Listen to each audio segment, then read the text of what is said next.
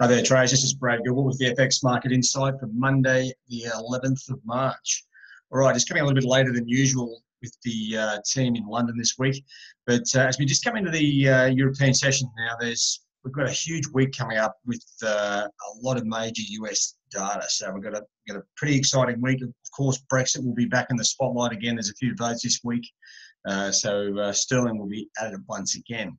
Now, just to start with, just having a look at the um, what's really going on. So the markets at the moment still pretty good trending markets. Now, US non-farm payrolls, the and non-farm payroll change itself missed the mark big time, but the but the uh, average earnings was higher. The unemployment rate was lower. So there's a lot of positive stuff here. The US dollar didn't take a slight pause, but it overall the US dollar is still going up. Okay, and also you know, a little bit of a strange one. We had some uh, upbeat Canadian uh, employment numbers.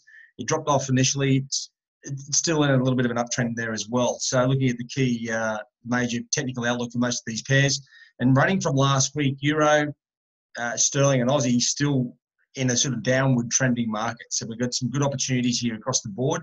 Now matching those up with the, te- the fundamental side, euro, obviously uh, going down technically, going down sort of fundamentally.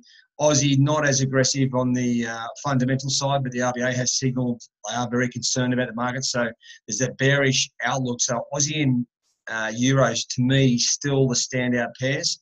Uh, core market drivers, as I mentioned, the uh, Brexit's going to be a key feature. We are getting closer to a US-China some sort of deal or no deal, and that's going to be very important for the Aussie and Kiwi. So a bad outcome there is going to be bad for China and also bad for Australia and New Zealand. So make sure you keep an eye on that. Now, just coming back to um, where the action is going to be, like over the next sort of 24 hours, I guess, is looking at uh, the data here. We've got uh, it's not every every every week we get uh, really big numbers, US numbers on a Monday. Now, this is going to give the potentially give the market real good direction starting the week on the US dollar side. So don't forget that the non-farm payrolls did miss the number just a touch, but um, we do have a situation where um, you know there's still the, the, market's waiting for that next bit of data, and the best thing is we get it today. All right. So looking at uh, today's trading, looking at the major pairs, just to me, there's um, you know the Aussie, uh, Euro, well, sterling to a less point because it's we've still got Brexit and that could go anywhere. But these pairs that have been sort of trending down now. The recent move here on Friday, the Aussie is sort of stalled. There's there's no sort of resistance around the moment. It's a little bit fickle. Uh, 70 60 looks like a bit of a top at this stage, but there's no trend lines there. Whereas Euro has got the best shape. Yeah, it's got this trend line to break down through sort of 112.55 uh, last Thursday, and now it's sort of coming back to test that 112.50 to 80 level. That's to me, a very good level to be getting short uh, euro. Um, the other pairs, well, you know what, the Kiwi, it's back into the middle of the range. It could go up or down. Uh, dollar yen, it's just been drifting lower. Uh, once again, these US numbers could uh, push that uh, pair around as well. Uh, dollar CAD, I'd say wicked US numbers. We might finally see a bit of a clean out on the downside. This goes with those stronger Canadian employment numbers, which were somewhat um, pushed aside by um, the um, you know, the US non-farm payrolls, which dominates that situation.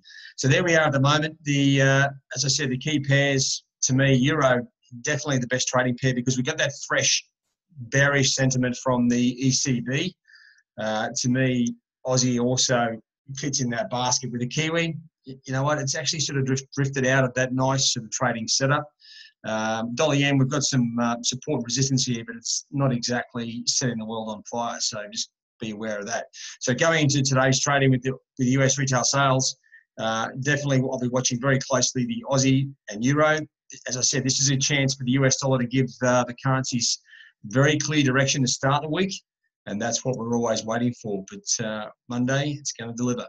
All right, guys, that's it from me. Uh, you'll see some more updates coming along. We'll probably do most of the updates uh, probably at the start of the European session this, this week, as I said, with, uh, with the team being in London. All right, guys, that's it from me. Have a good trade day. We'll see you in the 247 trade zone.